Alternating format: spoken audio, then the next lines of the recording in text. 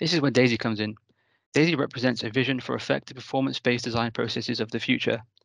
With performance-based design, we create a framework to rigorously analyze a building's performance across multiple metrics, such as carbon emissions, energy consumption, human comfort, economic returns on investment, and environmental criteria.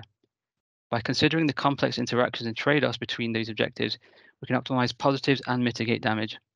This shift from the business as usual sustainable design to transformative regenerative design is what DAISY aims to achieve. By adopting a performance-driven approach like DAISY, we can move the needle on decarbonizing buildings and make smarter decisions through evidence-based thinking that have a revolutionary impact on the industry.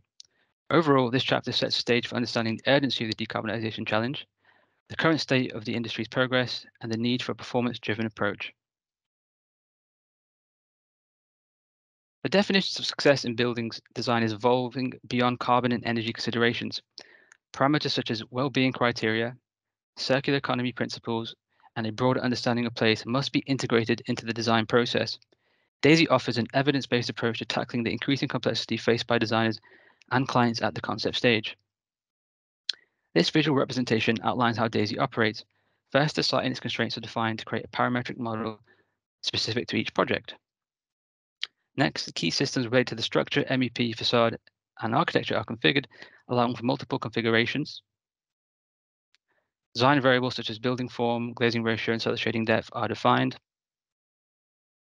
Once set up, the optimization process is run for the defined configurations, and the results are visualized to explore the optimal solutions. But crucially, the results are also interactive, enabling creative navigation of the design space. DAISY possesses three key capabilities. Firstly, it can optimize the form and shape of the building based on project constraints. Research has shown that the building's form significantly impacts energy efficiency and embodied carbon. The graph shows how DAISY, as a data-driven computational tool which optimizes early-stage building design with parametric design and machine learning allows thousands of potential building designs to be compared and assessed simultaneously.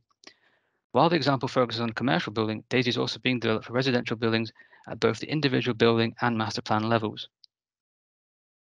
The facade plays a crucial role in building performance, with factors such as glazing ratio and solar shading influencing energy efficiency, embodied carbon, and comfort criteria like spatial daylight autonomy.